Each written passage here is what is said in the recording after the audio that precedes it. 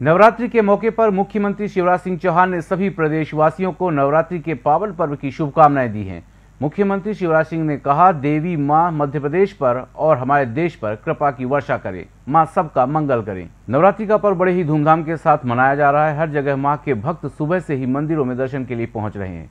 वहीं मुख्यमंत्री शिवराज सिंह चौहान ने सभी को नवरात्रि पर्व की शुभकामनाएँ दी हैं। उन्होंने कहा, माँ मध्य प्रदेश पर और हमारे देश पर कृपा की वर्षा करें, सब सुखी हों।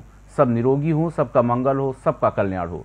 यही देवी माँ के चरणों में प्रार्थना है। उन्होंने कहा, हम बेहतर काम करते हुए अपने प्रदेश को विकास के पथ पर ले जाएँ और जनता को भी योजनाओं के क्रियान्वयन के माध्यम से हम बेहतर और सुखी जीवन उपलब्ध कराने में सहयोगी बन सकें।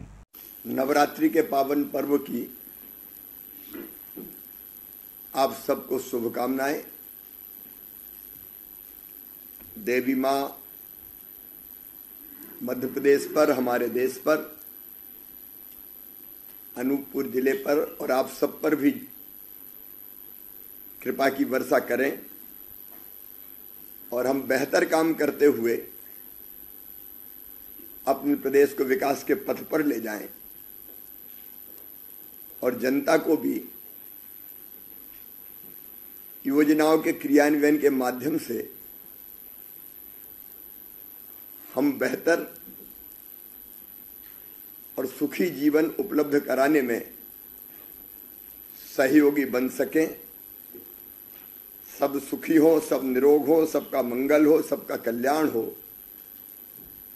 यही देवी माँ के चरणों में प्रार्थना है।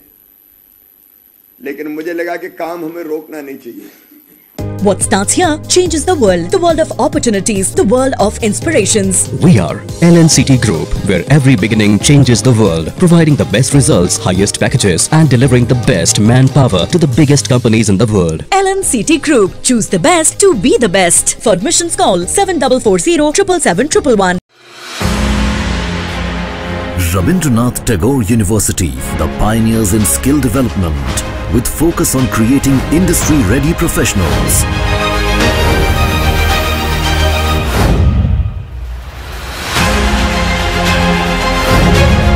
Join India's premier skill-based university, Rabindranath Tagore University.